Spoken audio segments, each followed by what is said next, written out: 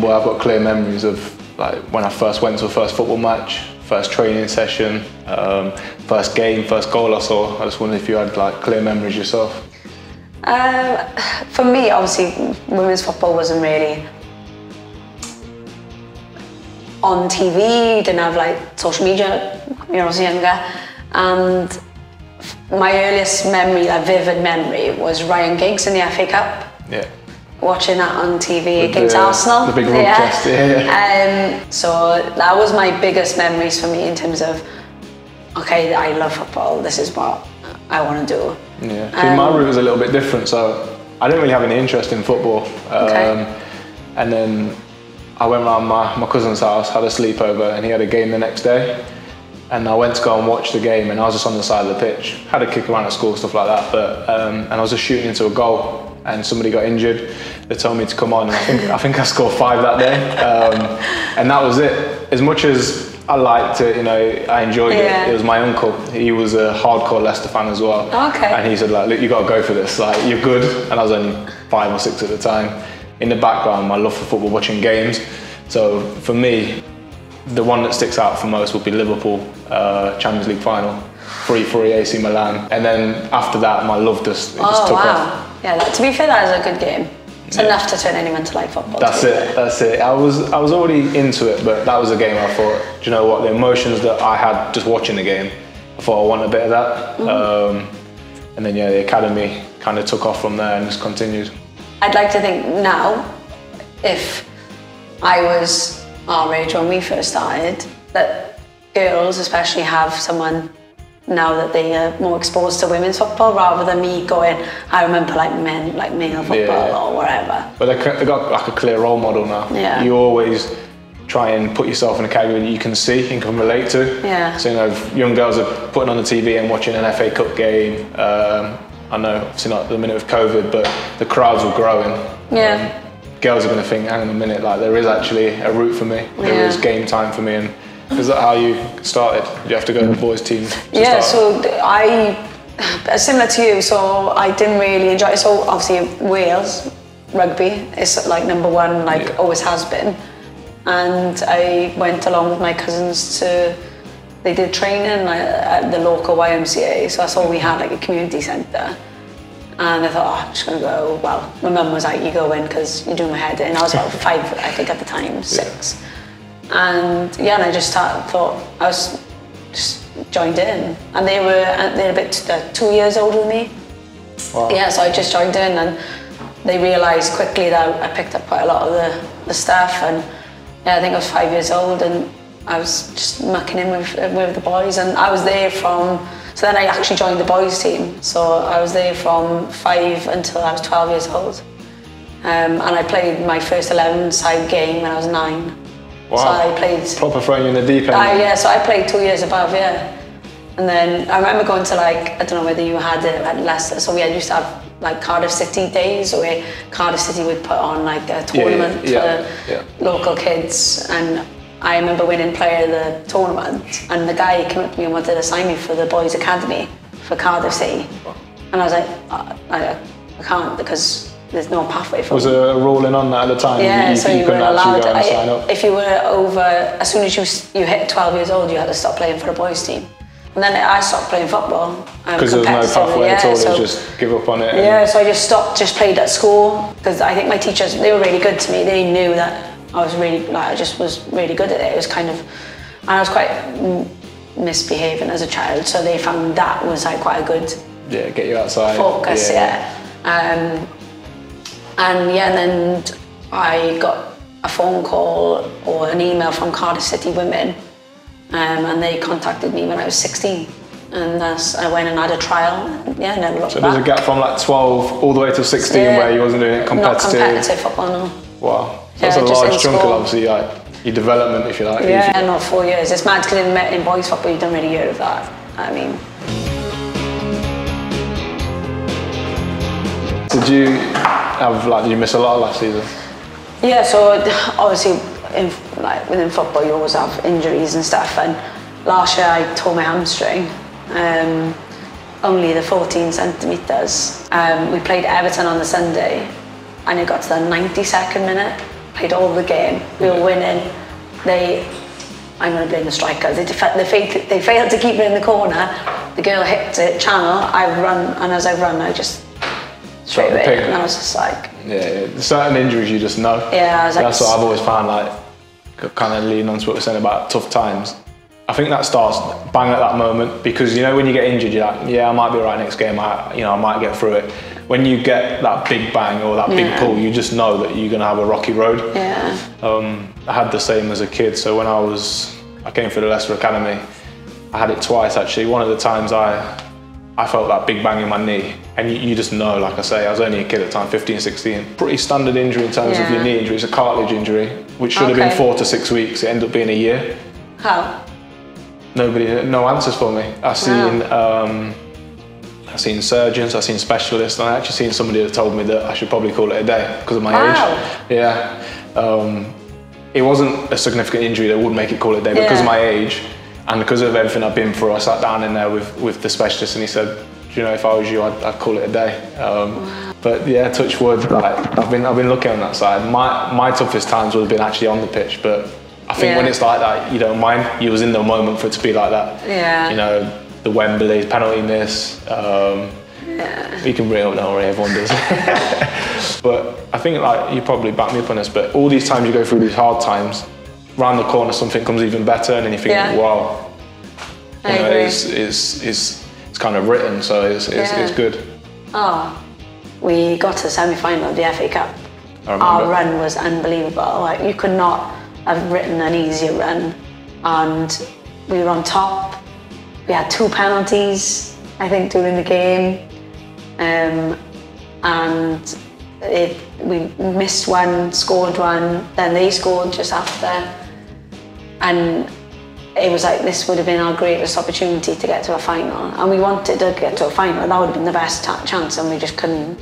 If we had been there for a month, we could not have put it away. Yeah. Uh, it was just one of those games, and yeah. for us, I think it took us a while, especially as a team, to get over that, um, and it kind of affected our results. Like after that, we weren't It's the same as us after the Wembley. You Yeah. know, was, the trajectory was just literally straight up. Yeah. There was no blips really. You know, a couple of defeats along the season, but and then you have that high, and then it doesn't quite work out, and the low is lower than Yeah. you can imagine. You know, Yeah. that, that comeback's difficult.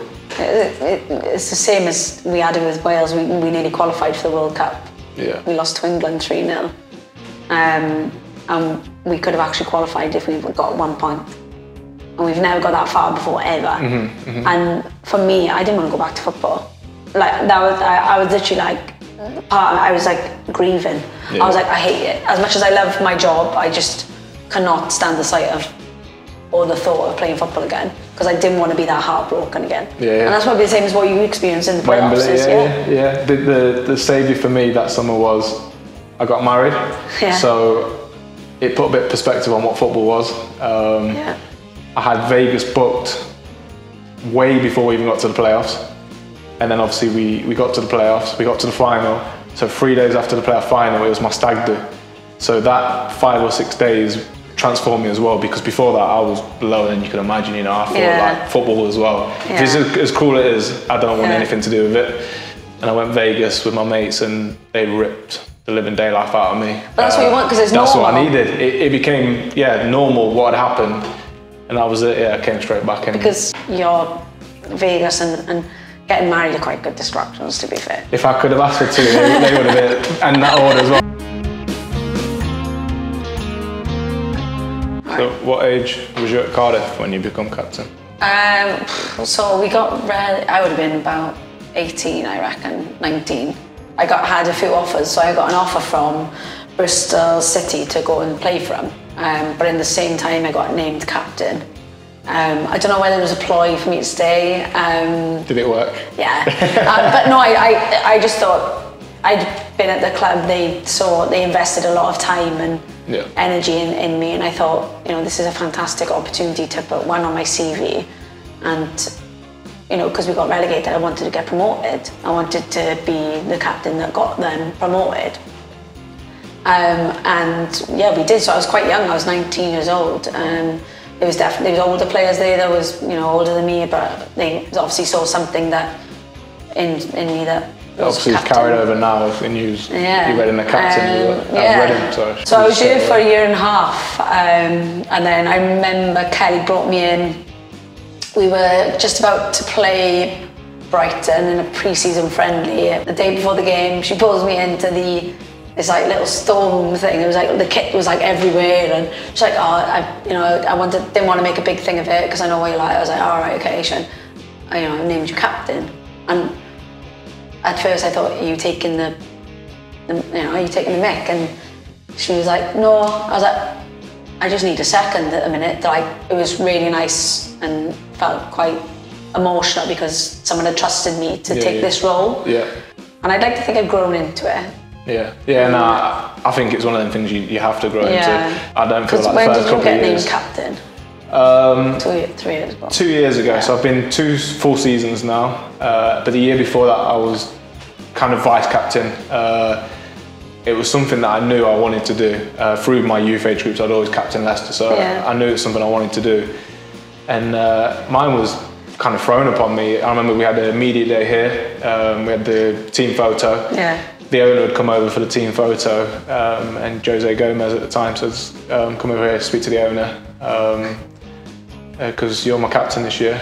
Um, just dropped it in. So you didn't have time to like process it, it was just So, like, yeah, okay. I was- yeah, literally, okay, went over, shook the owner's hand and kind of went home and thought, does he mean like for the season or? But yeah, I think it's something you grow into because Yeah. it comes with a lot of responsibility, as Yeah. you'll know. Uh, and you don't want to, just because you've got the armband now, then change the person. You don't want to be like, right, you do this, you do that. I kind of want to be natural with it.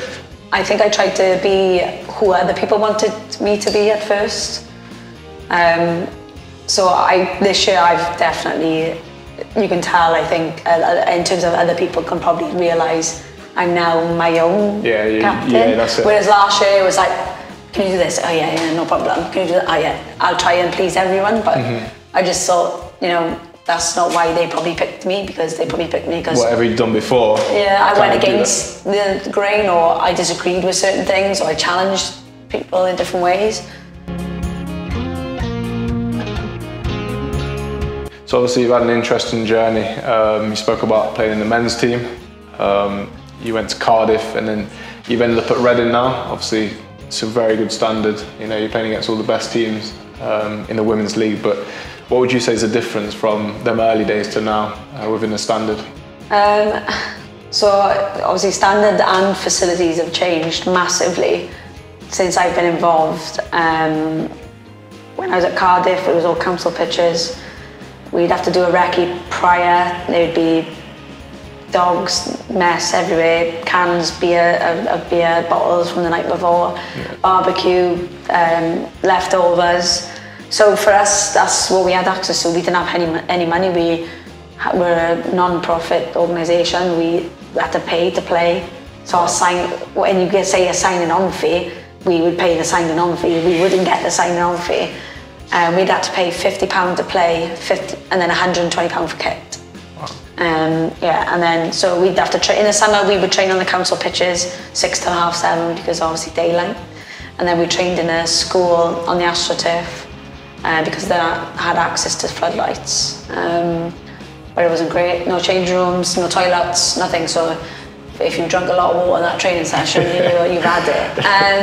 Um, um, and now obviously at, at Reading, um, I mean, it's all right here, it's, it's not too bad. Um, but no, it's, it's amazing, and for us to play at the stadium as well, it's, it's, it just shows for me the ambition of the club that they want to have the men and women's team looked in the same. Yeah, it's definitely going in the right direction. Yeah. Um, I know Reading women's team um, and Reading in general as a club have got big ambitions. Yeah. Uh, you know, the owner, everybody knows whenever I speak about the owner, he is, um, he's got crazy ambitions, Yeah. but when he's, he's doing it for the men's team, the women's team, the academy, uh, the youth, it, it gives this club and this, uh, this town an unbelievable chance. for us it's taken a long while, but in terms of women's football, but we're just thankful that the club have ambitions for the women's team as well as the men's team. So, so obviously you've got a, little daughter, five years old. Would you say now your perspective on women's football has changed from when you probably would have been would have seen it before to what it is now? for your daughter as well being involved? a million times over. Um, you know, in all fairness, the only exposure women's football really had was Bend It Like Beckham. Great film, by yeah, way. unbelievable film. But that would have been the only time I'd probably turn on the TV and see women's Yeah. football. Um, and even in that, they don't portray it probably right because the standard isn't as good as Yeah. it, it probably is out there. Um, but nowadays, you know, you, you can turn on the TV and you can watch a, a game of women's Yeah. football. You can hear about um, and see a lot of advertisement for the FA Cup. Obviously, Yeah. you said yourself you went on a cup run last year. Yeah. That was everywhere to be seen. Um, and, and with a daughter, that's also going to interest her as well. You know, when you can see these things, um, and when she watches a lot of football anyway with myself, then to turn on the TV and see little girls like herself and, and Yeah. older women playing football, she's probably going to take more interest in it now. So, yeah, she's uh, anything I do, she does. So she loves football. She loves boxing. Wow. Yeah. On that side, I think my perspective is changed because the standard's good first and foremost. Yeah. But on top of that, it's getting global exposure, which not just me, for everybody watching, is going to change what they think and how far they believe the game can go. And I think if your daughter does play football, she'll probably get the multi-million pound deals that we've all paid, you know, paid the way for her to get. Yeah. That's it. I hope so. I hope so. She'll be working in the garden, so We've been slogging away, so she'll get that. yeah, she'll reap the rewards. Yes.